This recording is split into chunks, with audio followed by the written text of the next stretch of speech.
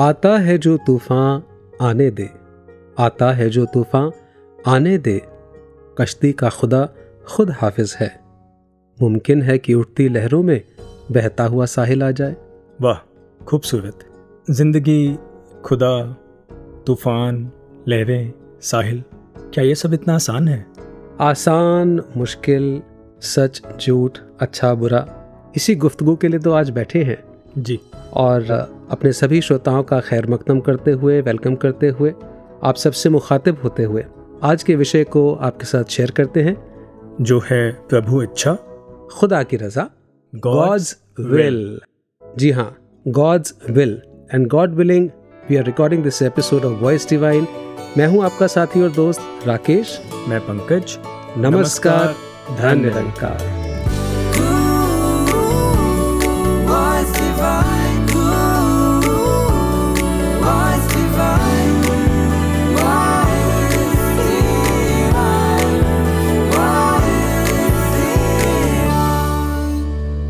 Rakesh ji God's will प्रभु इच्छा।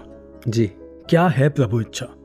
जब कुछ अच्छा होता है तो इंसान खुद को क्रेडिट देता है। मैं किता और जब कुछ ऐसा होता है जो लगता है कि ठीक नहीं है ये नहीं होना चाहिए था तो पता नहीं यार रब नू मेरे नाल ही की परेशानी है। जी। तो ये जो सबसे बड़ा सवाल है why me when we say this because we don't like something that is happen क्या है ये? पंकज जी जहाँ तक हमने सदगुरु से भी सीखा और संतों की वाणी से भी या जीवन के अनुभव से भी कह सकते हैं कि सीखा। जब हम गॉड्स विल की बात करते हैं जी। ईश्वर की इच्छा तो ईश्वर एक पिता है माँ है एक पेरेंट है। And what is the will of a parent it is always the best for the child absolutely और अब पेरेंट अगर बच्चे को डांट रहा है समझा रहा है तो वो पेरेंट की विल है। बट उस विल के अंदर छुपा हुआ भाव यही है कि बच्चा सुधर जाए। ये बच्चा नेक बन जाए अच्छा बन जाए। और जब पेरेंट टॉफ़ी लेकर के देता है तो वो कहता है बहुत अच्छे हैं पेरेंट्स पेरेंट्स की विल बहुत अच्छी है। लेकिन जब पेरेंट्स डांटते हैं तो बच्चे को लगता है कि ये ठीक नहीं है। Likewise events and things happen in our life which we segregate as good and bad जबकि सब कुछ ही ईश्वर की रजा है। And everything is taking us towards being divine ji I can totally related because आठ साल का बेटा है और उसका ट्वेंटी मिनट्स का गेमिंग टाइम फिक्स किया हुआ है। तो एवरी टाइम वो बीस मिनट के बाद जब हम लेते हैं ना तो उसकी एक ही स्टेटमेंट होती है आप बहुत गंदे हो।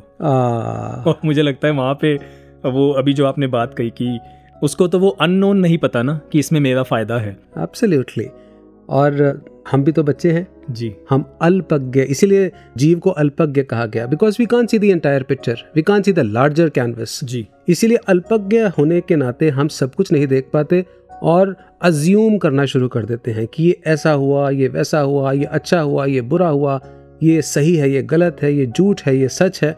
Depending upon the conditioning that we are forced in our life जो हम समाज से सीखते हैं दुनिया से सीखते हैं पेरेंटिंग से स्कूलिंग से इंटरनेट से। इस सब चीज़ों के आधार पर हम अपने सही गलत अच्छे बुरे सच झूठ बना लेते हैं। और उसी के आधार पर हम कहने लगते हैं कि ये गॉड्स विल अच्छी है या गॉड्स विल बुरी है। जबकि जब when we look at the larger picture ji. Everything is good everything is perfect the universe is perfect पूरे का किया सब, सब कुछ पूरा। जी। राकेश जी मुझे लगता है कि यहाँ सबसे बड़ा रोल है सतगुरु का हमारी लाइफ में। क्योंकि अक्सर परमात्मा के साथ रिश्ता एक बहुत सीमित सा बना लिया जाता है कुछ एक नियम का या कुछ सिर्फ़ एक मांगने तक का। और वो डिस्टेंस के कारण वो फेथ इस्टेब्लिश नहीं होता है। फेथ इस्टेब्लिश नहीं है तो फिर कैसे इसका किया अच्छा लगे? जब ये विश्वास ही नहीं है कि इसका किया हुआ ठीक है। सतगुरु ज्ञान देकर जब ये समझा देते हैं कि मैं इसी का अंश हूँ और इसी के कारण सब कुछ हो रहा है तू करता है जगत का तू सबका आधार। और इस निराकार के भाने में इस निराकार के नियम में जो कुछ भी मेरे लिए हो रहा है, वो बेस्ट है। तो जब ये फेथ इस्टेब्लिश हो जाता है, उसके बाद आप इस अवस्था में आते हो, जैसा कि आपने कहा, पूरे का किया, सब किच पूरा। लेकिन पूरा किसको लगेगा? जिसको फेथ है। और फेथ विश्वास, ये आता है सतगुरु की बख्शिश से। और इसी विश्वास के कारण वो पंक्तियाँ हम जी सकते हैं, जो संपूर्ण अवतार बाणी में लिखी हैं, कि जो कुछ भी अब कर इसनों मिठा लगता है पर किसनों जिसते दिल विच चौबी घंटे नाम दा दीवा जगदा है क्या बात है पंकज जी आपने रोशनी की बात कर दी दिए की बात कर दी तो अंधकार से जो प्रकाश की यात्रा है वो तो सदगुरु के द्वारा ही संपन्न होती है जी और आइए श्रोताओं को जोड़ते हैं सदगुरु के पावन शब्दों के साथ सदगुरु माता सुदीक्षा जी महाराज के पावन प्रवचन जी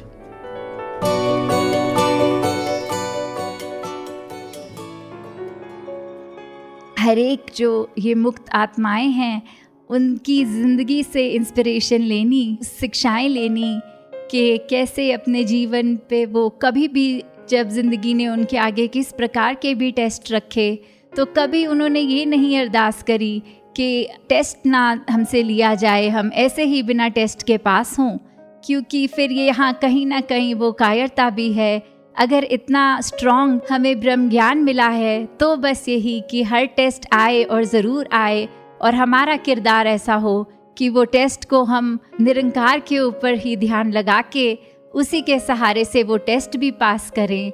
तो ये अरदास भी कि बिना पर्चे के पास ये अगर किसी की सोच है तो अब थोड़ी उस सोच को इवॉल्व करें और बोलें कि ये निरंकार जो टेस्ट देना है लाइफ में, डालो हमारे आगे पर साथ ही इतनी मजबूती हमें देना अपना विश्वास देना कि फिर वो परीक्षा में हम आपकी सिखलाई से ही पास हों।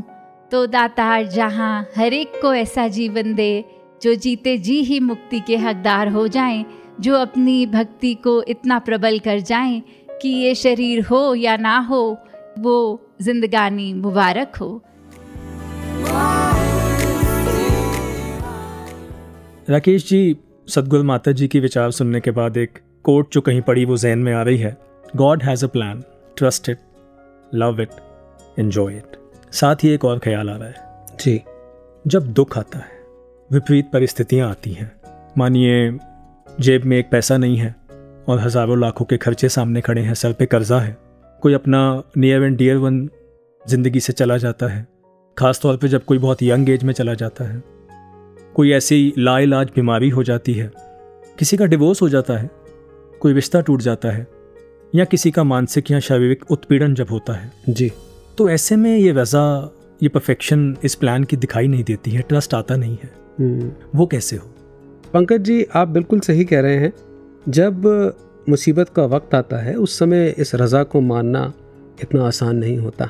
और इसीलिए एक महात्मा जिन्होंने ये बात समझाई आदरणीय खेमराज चड्डा जी जी। जब इस प्रकार की एक परिस्थिति आई तो उन्होंने समझाया कहते हैं बेटा गुरबाणी के अंदर शब्द आता है तेरा किया मीठा लागे। यानी कि ये मीठा होता नहीं है। ओ। इसका किया इसका भाणा निरंकार का ईश्वर का अल्लाह का गॉड का वह गुरु का जो भाणा है जो ये वर्तता है वो कई बार बहुत कठिन होता है। और इसीलिए ये अरदास की गई कि हे प्रभु परमात्मा हे सच्चे पातशाह आप मुझे बल बुद्धि विवेक देना कि आपका भाणा आपका किया हुआ मैं मीठा करके मान सकूँ। ओके okay, यानी कि आप ये कहना चाह रहे हो कि मीठा होता नहीं है मीठा लगने लगता है। Yes pain is never comfortable ji. But pain is inevitable pain is a constant part of our life and pain is good pain is a wake up alarm कि उठो और कहीं ना कहीं कुछ खराबी है उसको ठीक करो। तभी तो पेन होती है बॉडी के अंदर। और हम डॉक्टर के पास जाते हैं ठीक करा लेते हैं। Exactly exactly. और जैसे कहा कि pain is inevitable but suffering is optional तो हम सफ़र करते हैं या नहीं करते हैं ये हमारे ऊपर निर्भर करता है। हम किस तरीके से उसको पर्सपेक्टिव में लेते हैं। और जब हम ईश्वर का जैसे पहले बात हुई कि हम अल्पज्ञ हैं जब हम जान जाते हैं समझ जाते हैं सदगुरु की कृपा से कि ईश्वर सर्वज्ञ है ये सब कुछ जानता है। We can only see the little part of the picture but ये सारा जानता है। और जो ये कर रहा है वो पूर्ण है। पूर्ण बदम पूर्ण विदम पूर्णात पूर्ण मुदच्छते जब ये वाला भाव आता है फिर जैसे पहले आया था सदगुरु ने पहले तो कनेक्ट किया। जी। और अब कनेक्ट के बाद मुझे ऑब्जर्वर बना दिया। अब मैं साक्षी हो गया। Now I am in the role I am playing a role but I am still not in the picture अब मैं बाहर खड़ा होकर साक्षी भाव से अपने आप को देख रहा हूँ। I am looking at myself as my true self और अब जो भी उतार चढ़ाव उस रोल के अंदर उस किरदार के अंदर हो रहे होंगे जी। उनसे मैं प्रभावित होना शायद कम हो जाता। हूँ तो आपने कहा माई सेल्फ हम्म, हम्म, यानी कि बिना अपनी असलियत को जाने बिना अपने रियल सेल्फ को जाने ये खुद को बाहर निकाल लेना खुद को साक्षी बना लेना पॉसिबल नहीं है। Absolutely self realisation through God realisation जी हाँ। तो बिना ब्रह्म ज्ञान के ये हो ही नहीं सकता। जी बिल्कुल। और इसीलिए हम बार बार शुक्रिया अदा करते हैं सदगुरु का कि आपने हमें ब्रह्म ज्ञान दे करके हमारी आँखें खोल दी। जी बिल्कुल।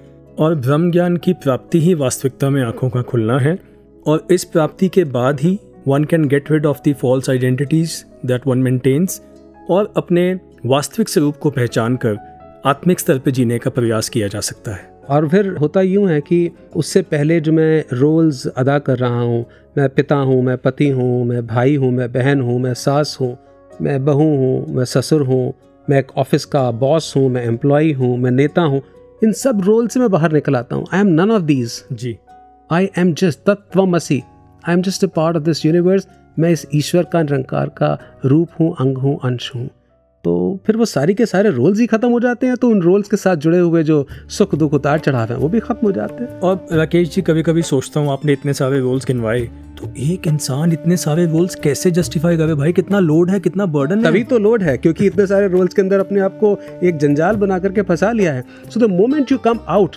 you are free you are light exactly और जैसे स्वामी विवेकानंद जी ने भी कहा I am not a drop in the ocean I am entire ocean in a drop beautiful तो आगे की यात्रा करते हैं और सुनते हैं संपूर्ण अवतार वाणी का ये शब्द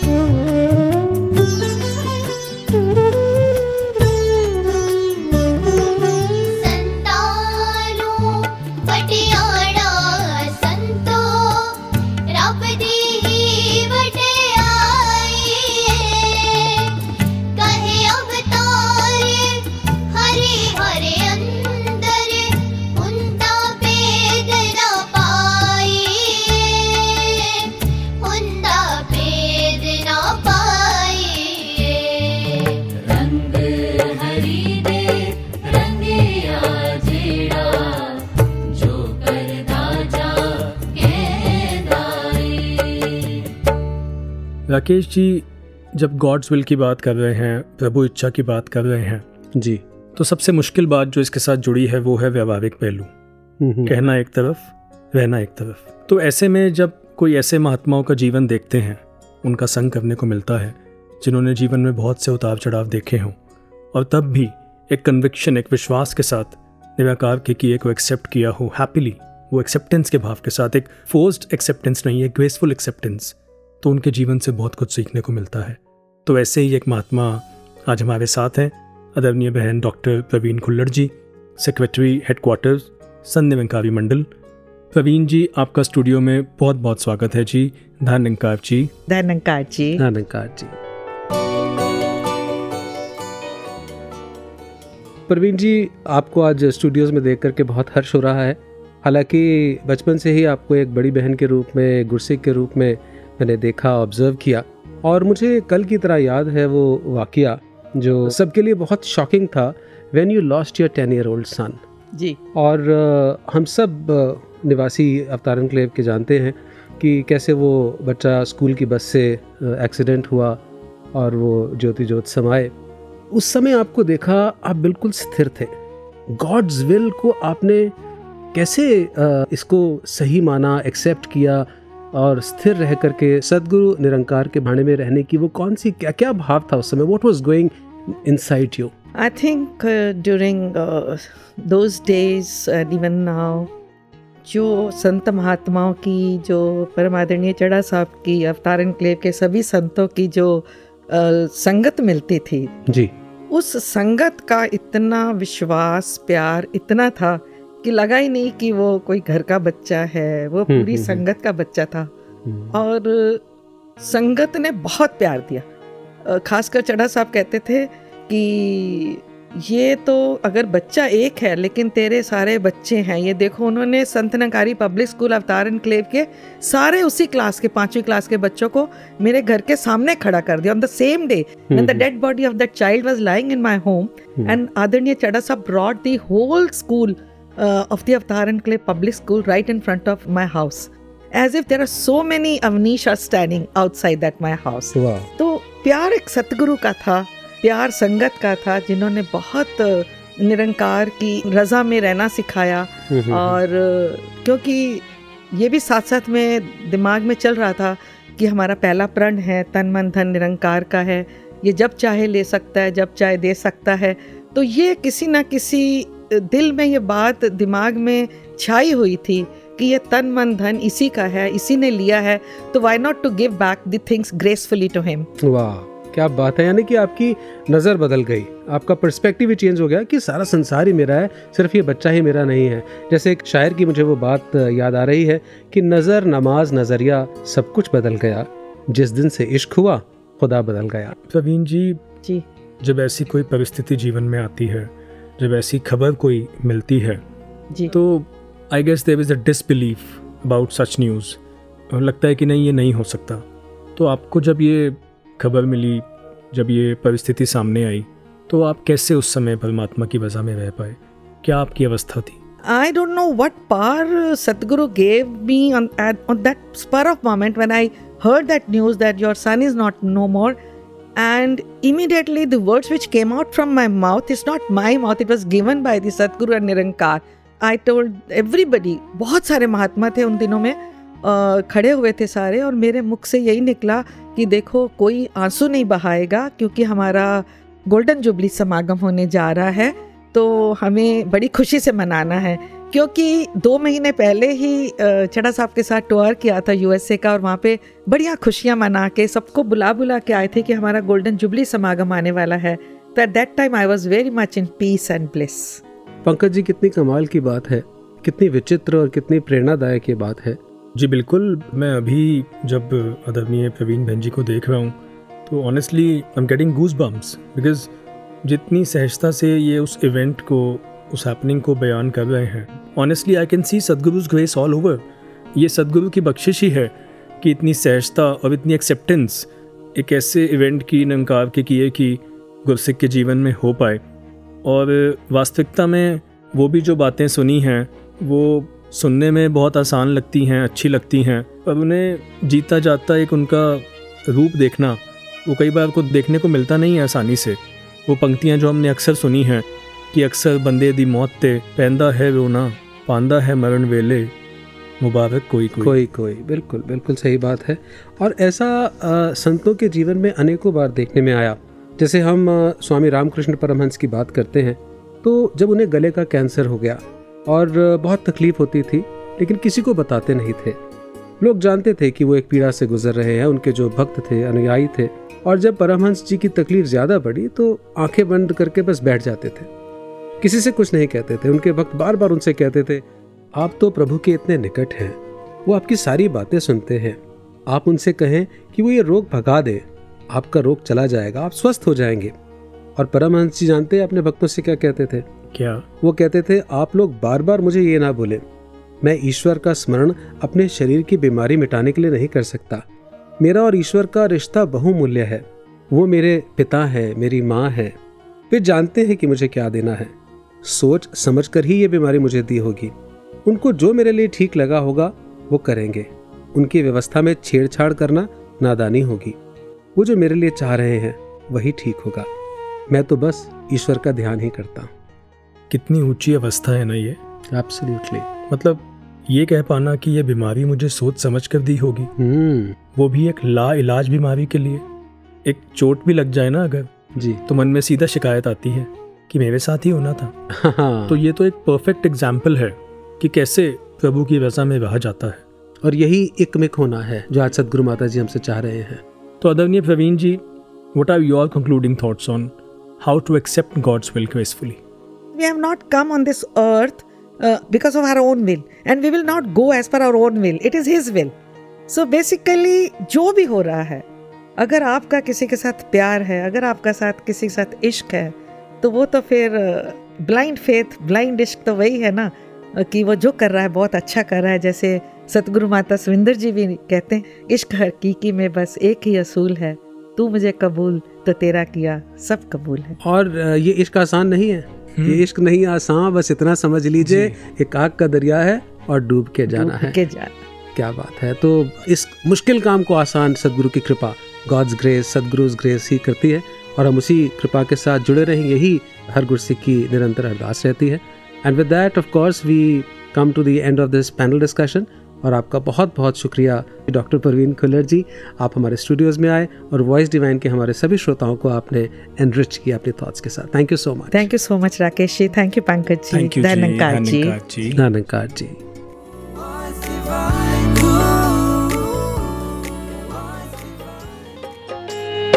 ਜੋ ਕਰਦਾ ਰੱਬ, ਚੰਗਾ ਕਰਦਾ ਜੋ ਕਰਦਾ ਰੱਬ, ਚੰਗਾ ਕਰਦਾ ਜੋ ਕਰਦਾ ਰੱਬ, ਚੰਗਾ ਕਰਦਾ ਜੋ ਦਿੰਦਾ ਹੈ ਆਣ ਦੇ। ਤੂੰ ਆਪਣਾ ਕਰਮ ਕਰੀ ਜਾ, ਆਪਣਾ ਕਰਮ ਕਰੀ ਇਹਨੂੰ ਆਪਣੇ ਰੰਗ ਵਹਾਉਣ ਦੇ, ਜੋ ਕਰਦਾ ਹੈ ਰੱਬ, ਚੰਗਾ ਕਰਦਾ।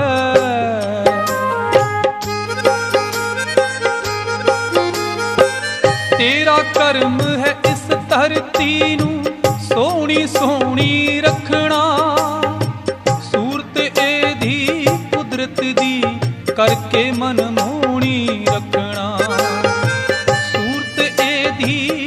ਕੁਦਰਤ ਦੀ ਕਰਕੇ ਮਨ ਮੋਹਣੀ ਰੱਖਣਾ, ਨਸਲਾਂ ਦੇ ਲਈ ਰਸਤੇ ਸੋਹਣੇ, ਨਸਲਾਂ ਦੇ ਲਈ ਰਸਤੇ ਸੋਹਣੇ, ਨਸਲਾਂ ਦੇ ਲਈ ਰਸਤੇ ਸੋਹਣੇ, ਕਰੀਏ ਯਤਨ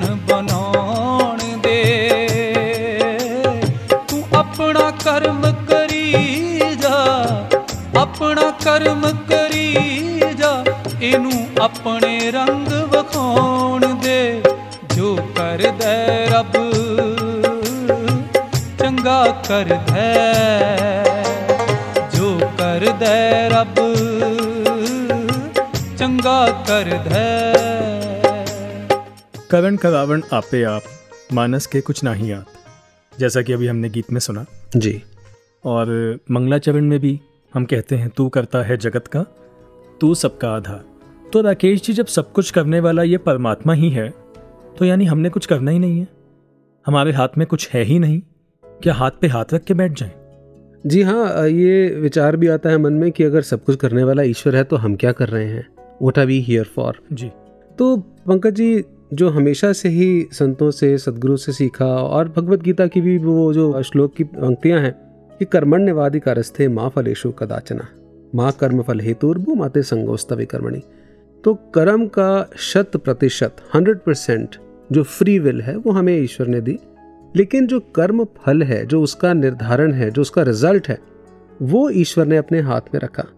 And it is almost like a student teacher relationship हम एग्ज़ाम देते हैं स्कूल का और टीचर पेपर चेक करता है। सोचिए अगर एक स्टूडेंट को ही अपना पेपर चेक करने के लिए मिल जाए। जी। मुझे भी अगर मेरा मैथ्स का मिल जाता ना। हाँ तो सौ बटा सौ देंगे अपने आप को। Everyone would give hundred percent marks to oneself जी। लेकिन ऐसा सही नहीं होता क्योंकि टीचर को मालूम है कि इस बच्चे को अगर आज मैं सत्तर नंबर दे रहा हूँ then he will improve by those thirty percent marks जी। और टीचर का हमसे कुछ पर्सनल ग्रज नहीं है कोई किसी बच्चे से दुश्मनी नहीं है। टीचर के लिए सभी बच्चे एक बराबर हैं and the teacher wants every child to score hundred percent marks लेकिन उस समय हमें एनालाइज करके वो हमें उतने ही नंबर देते हैं जितनी हमारी परफॉर्मेंस होती है। और उस समय शायद बुरा लगता है कि पाँच नंबर कट गए दस नंबर कट गए बीस नंबर कट गए। मुझे तो स्टेप्स के नंबर मिल जाने चाहिए थे। मैंने फॉर्मूला तो लिख ही दिया था। मैंने पॉइंट्स तो लिख ही दिए थे। उस बच्चे ने ऐसा लिखा था उसको तो दे दिए मुझे नंबर नहीं दिए। तो ऐसी अनेक जजमेंट्स हम लाइफ में भी करते हैं। देखो उसको मिल गया मेरे कर्म कैसे हैं उसके कर्म कैसे हैं उसने ऐसा किया देखो उसको लाइफ में क्या मिल गया। But of course we have to realize that the teacher नंकार Sadhguru knows the best and whatever is happening with us is nothing but a process of letting us grow in every aspect, every dimension of life, whether it is spiritual, whether it is social, whether it is intellectual. हर तरीके से हमारी उन्नति हो रही होती है विकास हो रहा होता है And Rakesh ji, uh, while trying to find an answer to this question, I came across this beautiful conversation between Reverend Bekal ji and Baba Hardev Singh ji Maharaj. Wow. So I'm trying to quote it as it is from Gurudev Hardev Part 1. जी बेकल जी ने बाबा जी से पूछा कि ये बात समझ नहीं आती कि जब सब कुछ करने वाला ईश्वर है जो हो रहा है ईश्वर की आज्ञा से हो रहा है तो फिर किसी कर्म के लिए मनुष्य को क्यों दोषी ठहराया जाता है इसकी सज़ा मनुष्य को क्यों मिलती है गुरुदेव ने मुस्कुराते हुए कहा आपने तो एक साथ कई प्रश्न कर दिए हैं ईश्वर सब कुछ करने वाला है या ईश्वर की आज्ञा से ही सब कुछ होता है? इन दोनों में तो बहुत अंतर है। और फिर मनुष्य को सज़ा ही तो नहीं मिलती शाबाशी भी तो मिलती है यश भी मिलता है। इसकी तो आपने चर्चा ही नहीं की। क्या बात है? कुछ देर रुकने के बाद गुरुदेव ने आगे समझाया इन प्रश्नों को समझने के लिए गहराई से सोचने की एनालिसिस विश्लेषण करने की ज़रूरत है। हम्म, हम्म। निराकार दातार सर्वशक्तिमान है। इसकी इच्छा इसकी आज्ञा ही इसका विधान है।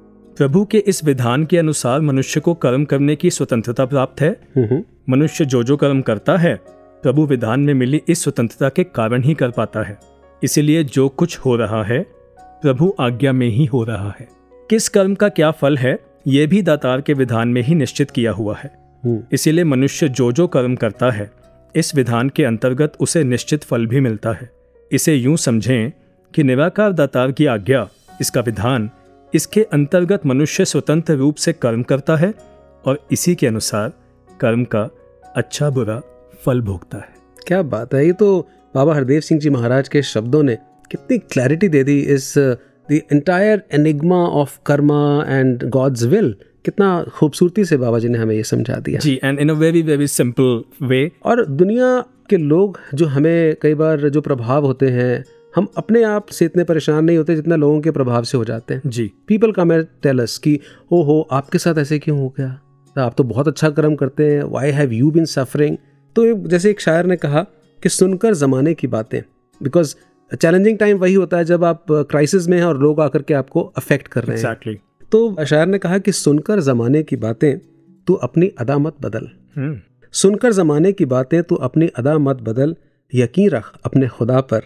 यूं बार बार खुदा मत बदल क्या बात है एक रब दे बस होके रहना ਹੋਰ ਕਿਸੇ ਦੀ ਲੋੜ ਨਹੀਂ ਕਹੇ ਅਵਤਾਰ ਇਹੋ ਜਿਹੇ ਸਿੱਖ ਨੂੰ ਕਿਸੇ चीज़ की थोड़ नहीं थोड़ नहीं राकेश जी मुझे एक ऐसा समय याद आ गया 2005 की बात है। जी। किसी कारण से हम जिस घर में रहते थे वो सेल ऑफ़ करना पड़ा। हम्म। सो मुझे याद है जो आपने बात कही बिल्कुल ऐसा ही हुआ। पड़ोसी आए हम्म। कहते आपके घर में तो इतना सत्संग होता था। हम्म। दिन रात महात्मा आते थे।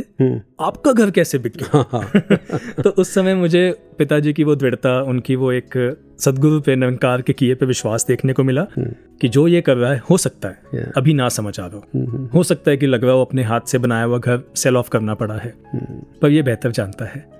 और इसने अभी भी आनंद में रखा हुआ है। Yes. पहले भी रखा था जी। आगे भी रखेगा। Absolutely. The basic purpose of prayer is not to bend God's will to mine, but to mold my will into His. जी। और जैसे हमने बात शुरू की कि सबसे पहले सदगुरु के साथ या ब्रह्म ज्ञान के साथ जब हम जुड़ते हैं तो सदगुरु हमें कनेक्ट करते हैं। जी। फिर वो हमें ऑब्ज़र्व कराते हैं एक साक्षी बनाते हैं।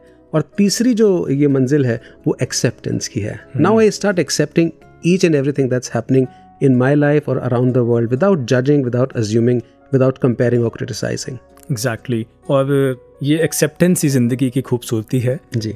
और राकेश जी ऐसे कई महात्मा हैं जिन्होंने अभी जैसे हमने अदरणीय डॉक्टर प्रवीण खुल्लर जी को सुना जी। ऐसे कई महात्मा हैं जिन्होंने ऐसे फेजेस देखे लाइफ में और वो डटे रहे खड़े रहे सदगुरु ने संभाला सदगुरु का आसरा लिया उन्होंने।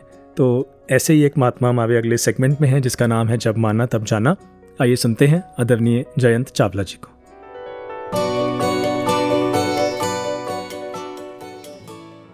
धन निंकार जी। ज़िंदगी में जो भी अप्स एंड डाउन्स आते हैं, इनको प्रभु रजा कह देना बड़ा ही आसान लगता है, पर अक्सर मान पाना उतना ही मुश्किल होता है। ऐसा ही कुछ पिछले वर्ष हुआ, जब दास की सिस्टर को कैंसर डिटेक्ट हुआ। डॉक्टर्स ने छः महीने का समय दिया। ऐसी न्यूज़ मिलने के बाद उन छः महीनों का अगर एक एक दिन भी ध्यान करता हूँ तो एहसास होता है कि सदगुरु के ज्ञान से किस प्रकार सहारा मिला। वो पंक्तियाँ जहन में आती हैं कि ज्ञानी काटे ज्ञान से अज्ञानी काटे रोए। अब ये पंक्तियाँ सुनी तो कई बार थी, पर वाकई ही जब ज़िंदगी में इन पंक्तियों का वो असर देखा, जब उन पंक्तियों को अपने जीवन में महसूस किया तो सतगुरु का शुक्राना निकला। सतगुरु ने किस प्रकार इस निरंकार के ज्ञान का सहारा देकर इस मन को संभाला और वहीं सतगुरु के जो गुरसिख हैं, संत महात्मा हैं, एक परिवार की तरह हर पल सहारा दिया। हर पल मन में वो ज्ञान की ज्योति जगाए रखी और हर सिचुएशन में हर दिन किसी न किसी महात्मा के द्वारा इस ज्ञान का वो एहसास मन में बना रहा। बाबा जी की भी वो बात जहन में आती है कि जब जीवन में कोई विपरीत परिस्थिति आ जाती है। ऐसा कोई अनफॉर्चुनेट इवेंट हो जाता है तो हम कितना गिला शिकवा करते हैं। और कितनी ही ऐसी अच्छी चीज़ें हमारे जीवन में हो रही होती हैं, हम शुक्र नहीं करते। तो जहाँ ये ज्ञान देकर सदगुरु हर परिस्थिति में हमें स्थिर रहना सिखा रहे हैं, वहीं जीवन जीने का जो सही सलीका है कि उतराइयाँ, चढ़ाइयाँ, जीवन विच आंदियाँ ने, हथ होवे तेरा सिर ते आके लंघ ने। ये पंक्तियाँ अनेकों अनेकों बार साथ संगत में सुनी। पर जीवन में जब महसूस की तो केवल और केवल शुक्राना निकला। आशीर्वाद दें कि इसी प्रकार प्रभु की रज़ा में रहते हुए पूरा ही परिवार जीवन का भरपूर भरपूर आनंद प्राप्त करता रहे। दान निंकार जी। सतगुर सोच लैके, सोचा शिंगार लईए ਸਤਿਗੁਰ ਦੀ ਸੋਚ ਲੈ ਕੇ ਸੋਚਾ ਸ਼ਿੰਗਾਰ ਲਈਏ ਦੁਨੀਆ ਸਵਰ ਹੀ ਜਾਣੀ ਦੁਨੀਆ ਸਵਰ ਹੀ ਜਾਣੀ ਖੁਦ ਨੂੰ ਸਵਾਰ ਲਈ सोच लेके सोचा शिंगार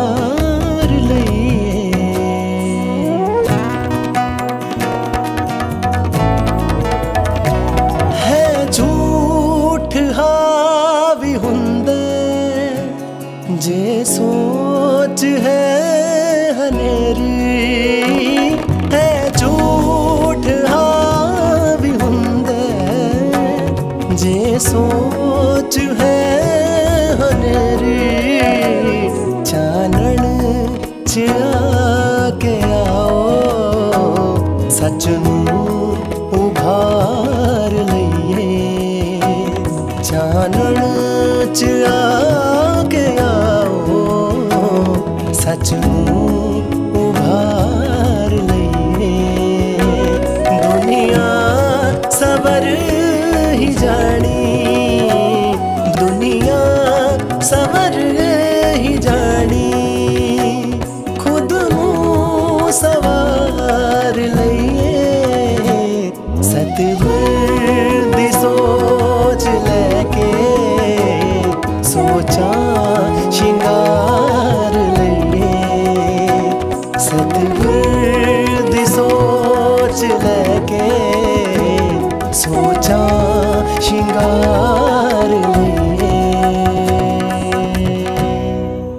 राकेश जी ये तो समझ में आ रहा है कि ज्ञान ले लेने का या सदगुरु के साथ जुड़ जाने का मतलब ये नहीं है कि लाइफ में सिचुएशंस नहीं आएँगी। जी। सिचुएशंस तो आएँगी। एब्सोल्युटली और चोट लगेगी तो थोड़ा बहुत दर्द भी होगा। हम्म। ज़्यादा भी हो सकता है। कुछ समय पहले की बात आई स्टार्टेड न्यू बिज़नेस और वो कुछ टाइम में बंद हो गया सो आई सफ़र लॉसेज हाँ हर एक के साथ होता है लॉसेस एंड हम्म तो दुख तो हुआ कुछ तकलीफ़ हुई पर ये देखा है कि कुछ लोग बहुत जल्दी संभल जाते हैं they out of it very easily कुछ को बहुत समय लगता है ऐसा क्यों? पंकज जी ये हर एक के साथ एक चैलेंज है और गिरना गिर के संभलना ये दस्तूर है ज़िंदगी का और भगवान कृष्ण के सामने जब अर्जुन ने भी ये प्रश्न किया जी। कि भगवान मन की इस अवस्था को मैं कैसे संभाल पाऊँ इसका जो वेग है वो तो आंधियों के समान बहुत तेज़ है। और मन जब कोई तकलीफ़ आती है तो बिल्कुल ढह सा जाता है गिर जाता है। कैसे संभाले? और वहाँ भगवान कृष्ण ने कहा अभ्यासीन तो कौनतेय वैराग्यण च गृहयति। यानी कि अभ्यास और वैराग्य। अगर इनको तू प्रैक्टिस करता है तो तेरा जीवन सहज हो जाएगा। जैसी भी हो परिस्थिति एक सी रह पाएगी मनोस्थिति। यानी practice and detached attachment. Absolutely और detached attachment comes only with ज्ञान। जो सदगुरु ने हमें दिया। जी। और अभ्यास के लिए सदगुरु ने कहा कि निरंतर सेवा सिमरन और सत्संग करते रहे। और इसी से जुड़ी बात अभ्यास से जुड़ी हुई दास को एकदम याद आ रही है।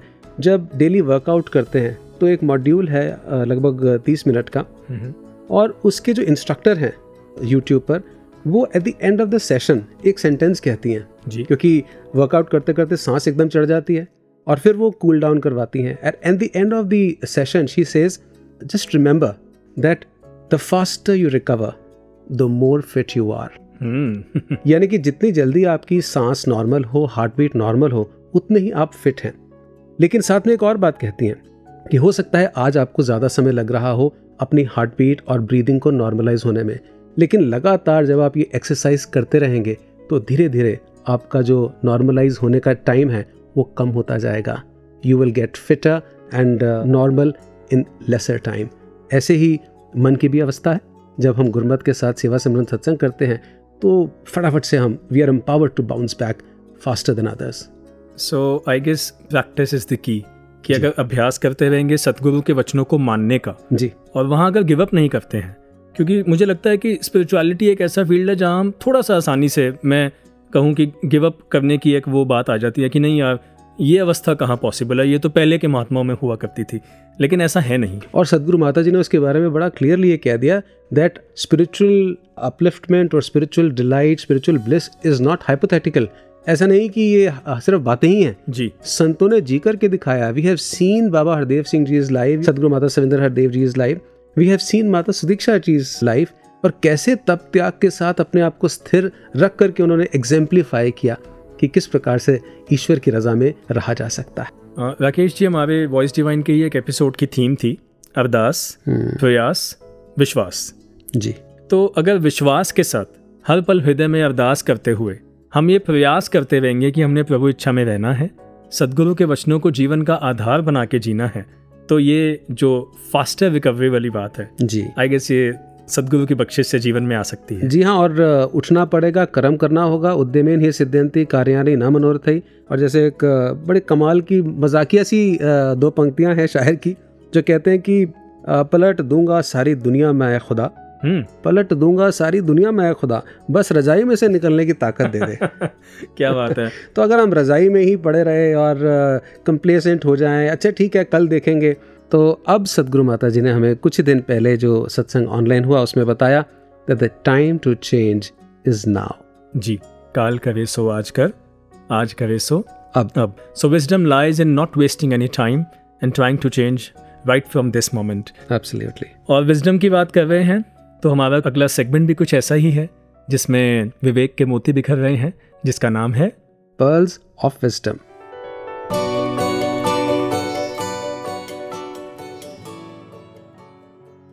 ये एक नया दिन है। ज़िंदगी को फिर से समझने का, फिर से कुछ सीखने का। ये उगते छिपते सूरज चाँद सितारे, ये बदलता मौसम, ये सारी की सारी कुदरत हमें कुछ सिखा रही है। हर गीत उसी की कविता है, हर कहानी उसी की दास्तां है। अगर हम सीखना चाहें तो महाभारत देख रही थी। आपने भी देखा होगा। उसका एक प्रसंग जो याद रह गया है। वही आपसे साझा करना चाहती हूँ। महाभारत की कहानी में एक प्रसंग आता है। जब पांडव वन में होते हैं और उन्हें बहुत प्यास लगी होती है तो वहाँ जल लेने गए पांडव से एक यक्ष देवता प्रश्न करते हैं। प्रश्नों का उत्तर ना देने की वजह से सभी भाई एक एक कर अचेत होते जाते हैं। तो आखिर में युधिष्ठिर यक्ष के उन प्रश्नों का उत्तर देते हैं। वो प्रश्न और उसके उत्तर बहुत ही महत्वपूर्ण है। ज़िंदगी के लिए बेहद ज़रूरी। उन्हीं प्रश्नोत्तर में से कुछ प्रश्न और उसके उत्तर मैं लेकर आई हूँ। यक्ष, युधिष्ठिर से प्रश्न करते हैं, कौन हूँ मैं? युधिष्ठिर जवाब देते हैं, तुम ना शरीर हो, न इंद्रियाँ, न मन और ना ही बुद्धि। तुम शुद्ध चेतना हो जो सर्व साक्षी है। मुझे लगता है कि हम सभी को ये सवाल खुद से पूछना चाहिए। क्या मैं शरीर हूँ जो मौत के साथ नष्ट हो जाएगा? क्या मैं ये आँख, कान, नाक, मुँह और इंद्रियाँ हूँ? नहीं ना। हमें हर पल ये एहसास होना चाहिए कि मैं आत्मा हूँ और इस चेतन सत्ता का अंश हूँ जो सदैव रहने वाली है। यकीन मानिए, ये एहसास आते ही दुख खत्म हो जाते हैं। यक्ष फिर पूछते हैं जीवन का उद्देश्य क्या है? युधिष्ठिर कहते हैं, जीवन का उद्देश्य उसी चेतना को जानकर जीवन मृत्यु के बंधन से मुक्त होना है। सच भी तो है, हम अक्सर जीवन का उद्देश्य धन कमाना, प्रसिद्धि और समृद्धि पाने को बना लेते हैं। लेकिन हम भूल जाते हैं कि ये सब यहीं छूट जाएगा। कुछ और भी है जो इस जीवन के बाद भी है। वही जानना सही मायने में कुछ जानने जैसा है।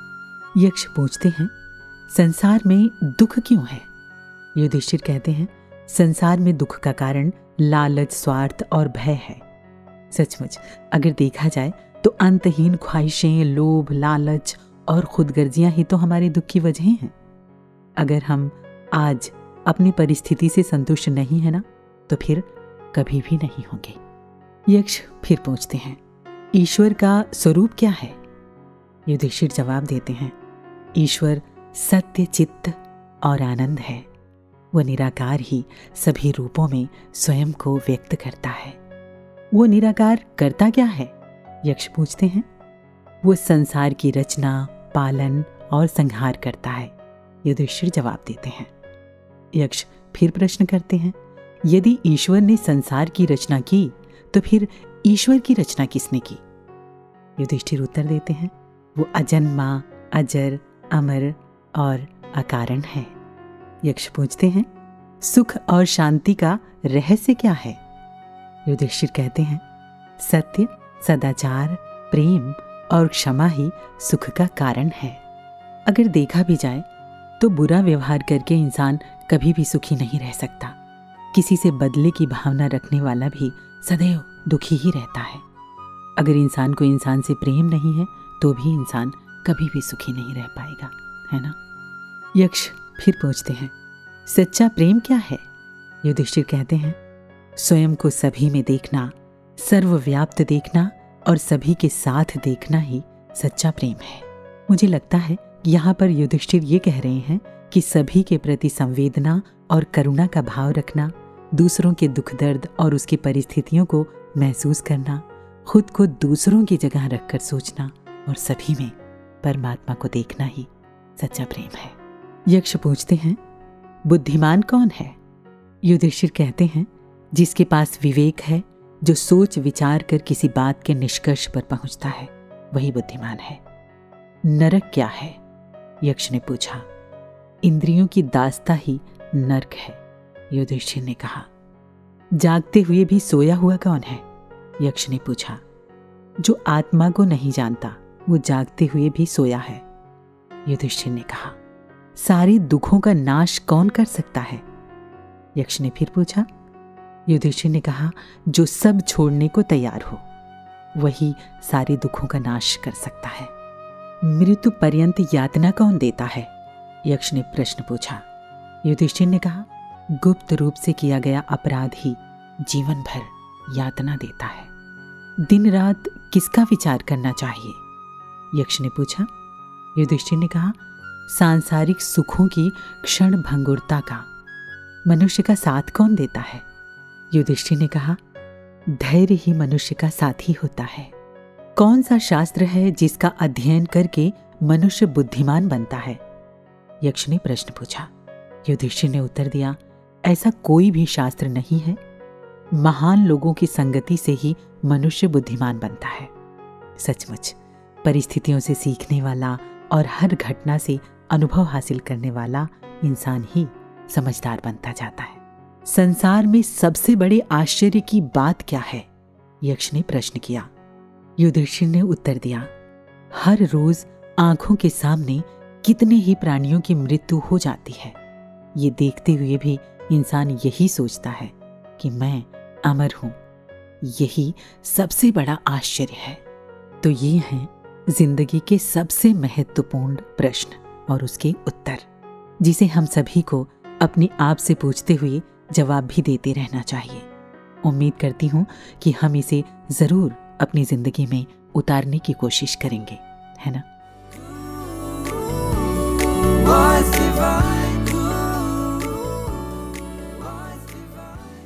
तो पंकज जी, हम एपिसोड के अब अंत में आ चुके हैं गॉड्स विल तो क्या सीखा। What is the gist of our learning Rakesh ji जो सीखा वो सिर्फ़ इस आधे पौने घंटे की बात तो नहीं है। जी। ओवर द ईयर्स जो सदगुरु ने आई वुड से कंडीशनिंग इनकी बख्शिश ने की है इनकी कृपा ने की है।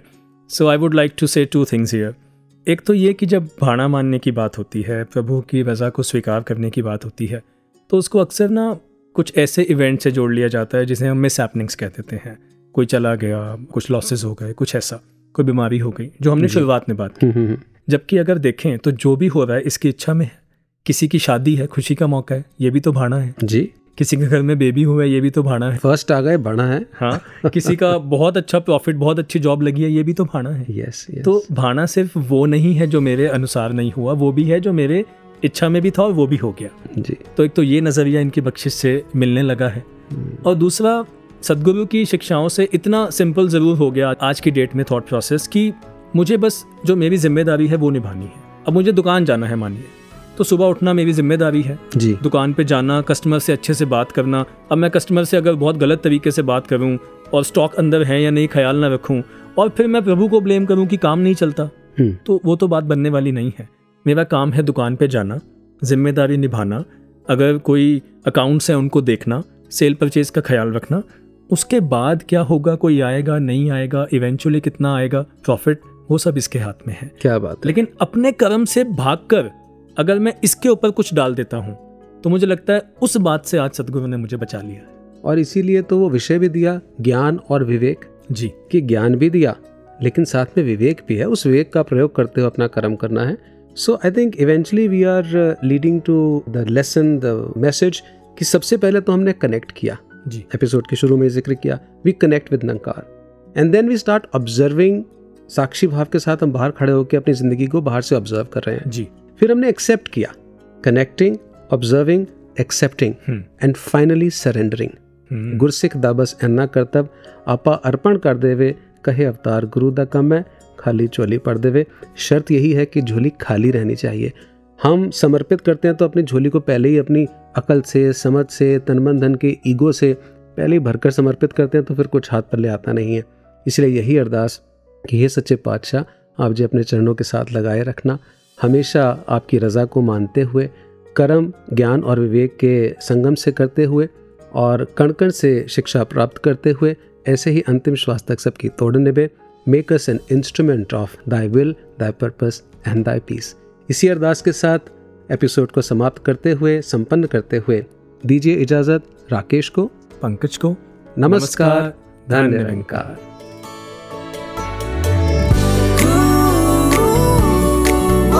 divine